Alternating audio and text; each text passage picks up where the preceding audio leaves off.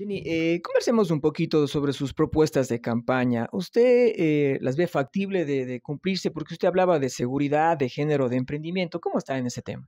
Bueno, son justamente los ejes en los que yo me voy a manejar. Seguridad, como decía, con la poca experiencia que tuve en la gobernación de la SUAY, vamos a hacer una reestructuración al Consejo de Seguridad Ciudadana, eh, también con la venia del señor alcalde, pues él ha dicho que se va a reestructurar la Guardia Municipal. Nosotros estamos queriendo que se pase a ser una policía municipal bajo el código del COESCOP, eh, para que tengan un poco más de de competencias en el tema de seguridad. Obviamente un guardia, un guardia ciudadano nunca va a llegar a ser como un policía, pero yo pienso que el tema de, de patrullajes a pie, de estar presente en los parques, de estar presente en las paradas de buses en las horas pico, que nosotros veamos a nuestros guardias ciudadanos, creo que eso nos va a dar una percepción de que estamos seguros y que, todas las instituciones están activadas, exactamente. Eh, eso en tema de seguridad. En tema de género, pues eh, también vamos a estar trabajando en la mesa de género, que es una mesa cantonal donde están más de 22 instituciones de todos los niveles del gobierno, donde ahí se manejan exclusivamente las políticas eh, de género, ¿no? Que, que tiene que ser implementadas en el municipio.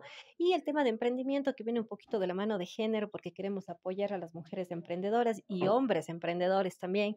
Cuenca, sobre todo Cuenca, es una ciudad eh, que tiene mucha gente emprendedora, mucha gente negociante, comerciante. Yo creo que no hay, creo, un cuencano por ahí que no nos hayamos dedicado a vender, aunque sea, como sé por ahí decir, aunque sea limones.